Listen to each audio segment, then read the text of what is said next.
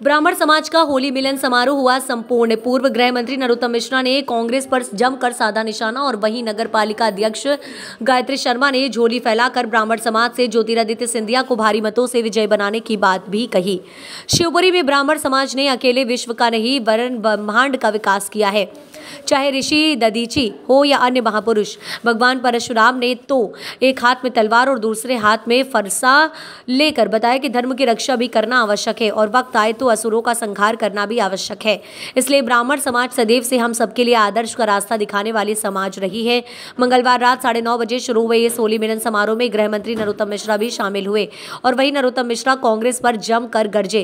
कांग्रेस की तुलना फ्यूक हुए बल्ब से की और नरोत्तम मिश्रा ने ये भी बोला, पूर्व मुख्यमंत्री दिग्विजय सिंह को पाकिस्तान व काजी साहब का नारा सुनाई देता है। उन्होंने सनातनी संस्कृति का हवाला देकर कहा कि ब्राह्मण समाज सनातनी रही है और सनातनी ही रहेगी। नरोत्तम मिश्रा ने तो यहाँ तक कह दिया कि चुनाव समिति की बैठक में चर्चा भी आई है कि सिंधिया जी को कहाँ से लड़ाया जाए। तो ग्वालियर, मुरैना, भोपाल, इंदौर, मालवा क्षेत्र से लोगों ने उनके नाम को रखा। लेकिन जब गुना शिवपुरी की बारी आई तो सिंधिया बोले, यहाँ मेरे प्राण बरसते, इसलिए यहीं से चुनाव लड़ूँगा। इस अवसर पर तमाम लोग, उन्होंने अपनी बात रखी। आपके समाज के केवल नहीं, लेकिन मराठा समाज के सबसे वीर वीर योद्धा, बाजीराव पेशवा ने जब अंतिम सांस लिया, खंडवा के रावेर खेड़ी में, उस रावेर खेड़ी में आज भी आप जाके अगर दर्शन करोगे तो उनकी छतरी वहाँ अगर किसी ने बनाई तो सिंधिया परिवार के पूर्वज रानू जी महाराज ने बनाई है मेरे भाई और बहनों। और शिवराज सिंह जी के साथ जाकर हमने ये संकल्प ले लिया है कि बाजीराव पेशवा की समाधि का पूर्ण निर्माण हम लोग करेंगे और उसे एक धार्मिक स्थल बनाएँगे मेरे भाई और बहनों में। सनातन धर्म की बात की नरोत्तम जी ने। जिन लोगों ने सनातन धर्म को नष्ट करने का संकल्प लिया है इस चुनाव में उन दुष्ट लोगों को बाहर का दरवाज़ा दिखाने का काम ब्राह्मण समाज को करना होगा। मुझे तो आश्चर्य है, तीन दिन पहले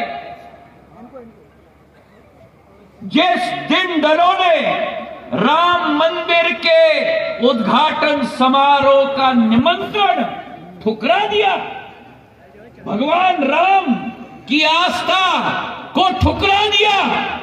जिन लोगों ने भगवान राम के मंदिर में पूजा अर्चना करने से मना कर दिया, वही लोग प्रधानमंत्री जी के विरुद्ध, सनातन धर्म के रक्षक नरेंद्र मोदी जी के विरुद्ध जो राम मंदिर में नहीं जाना चाहते, वो रामलीला मैदान में रैली कर रहे हैं।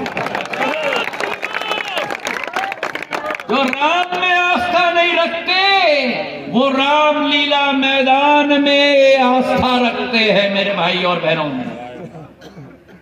जिन्होंने सनातन धर्म को कभी मान्यता नहीं दी, आज देश आर्थिक रूप से बढ़ रहा है, लेकिन केवल आर्थिक रूप से नहीं, केदारनाथ से लेके बद्रीनाथ तक, केदारनाथ से लेके बद्रीनाथ तक बद्रीनाथ से लेकर काशी विश्वनाथ तक, काशी विश्वनाथ से लेकर अयोध्या तक, अयोध्या से लेकर महंकाल लोक तक, महंकाल लोक से लेकर गुरुवयूर तक, गुरुवयूर से लेकर रंगनाथ स्वामी मंदिर तक, रंगनाथ स्वामी मंदिर से तिरुपति तक, तिरुपति से लेकर रामेश्वरम तक, जो भारत के झंडे को आगाज़ कर रहे हैं प्रधानमंत्री नरेंद्र मोदी जी।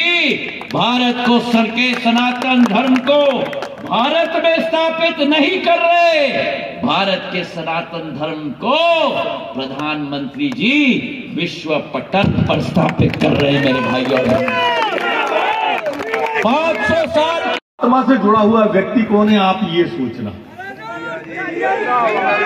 ये व्यक्ति सिर्फ़ उसी के लिए आए हैं। जो कांग्रेस पार्टी के आए। आप विचार करना, आपके काम कौन आ सकता है? काम चाहे छोटा हो, चाहे बड़ा हो।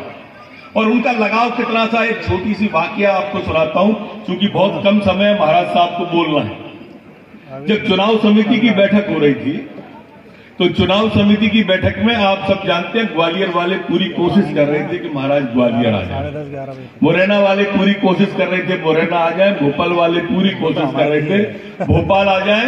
और मालवा अंचल से भी महाराज की मांग बहुत तेज़ी से उठ रही थी। इसी में हुआ पो में पूरी चुनाव समिति आपस में लगी हुई थी तो किसी ने कहा कि महाराज बैठे उनसे क्यों नहीं पूछ लेते आप? और महाराज से पूछा गया तो उन्होंने कहा कि मेरे शिवपुरी गुना अशोकनगर में प्राण बसते मैं किसी कीमत पर भी अपने प्राणों से दूर नहीं हो सकता और मैं वहीं से लड़ूँगा। आप अंदाज करें जिस व्यक्ति की नेशनल स्तर पर मांग हो, वो आपसे कितना टची होंगी? कितना जुड़े होंगे? तीन पीढ़ियों से आपका रिश्ता है। अगर कोई छोटी मोटी बात करे तो ये बात विचार मन में लेके सदैव आना। कि सामने वाला जो भी व्यक्ति होगा, वो गुना अशोकनगर शिवपुरी का भला बिल्कुल नहीं सोच सकता। अगर उसको एक वोट भी जाएगा तो उसके व्यक्तिगत और परिवार के भले के लिए जाएगा। और महाराज को गया हुआ वोट आपका सनातन संस्कृति को जाएगा शिवपुरी के विकास को जाएगा। यहाँ पर आप कमल का बटन दबाएँगे, वो आतंकवाद के खिलाफ गया बटन होगा। आप यहाँ पर कमल का बटन दबाएँगे। वो कमल का बटन सीमा पर सैनिक की बाजुओं को मज़बूत कर देगा। आप यहाँ पर कमल का बटन दबाएँगे, आतंकवादियों को पाकिस्तान में दहशत आ जाएगी कि मोदी जीत के आ रहा है, मोदी की सरकार बन के आ रही है। मेरे मित्रों, कांग्रेस को वोट गया, ना उसकी मध्य प्रदेश में सरकार हो ना दिल्ली में सरकार बनने वाली।